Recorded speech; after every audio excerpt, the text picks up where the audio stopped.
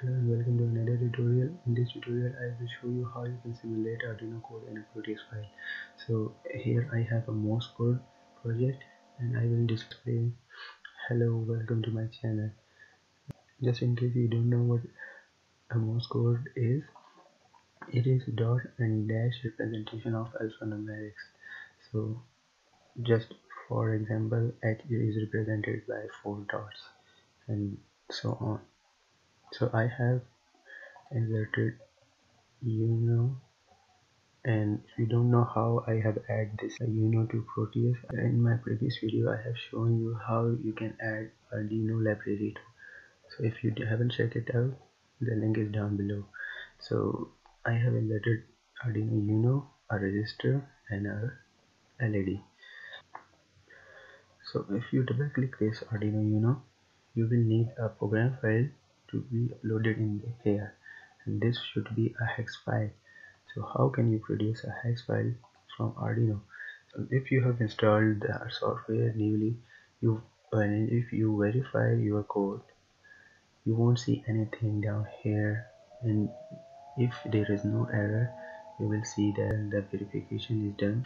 So we you can see here that after verification is done there is no error in this but you can't see a hex file. So to see a path of the hex file where it is produced you have to go into file preferences. So you just check these two boxes and click ok. If now if you verify it you will see different paths coming around here. And once it is completed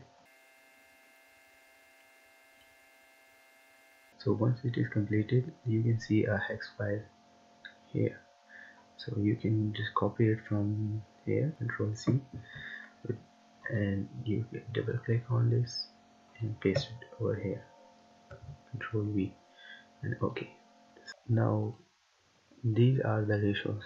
So if dot if dot is 500 milliseconds the dash will be three times of that dot length the path between the element like H and E will be a single dot length and the space will be three times of the dot length same as dash.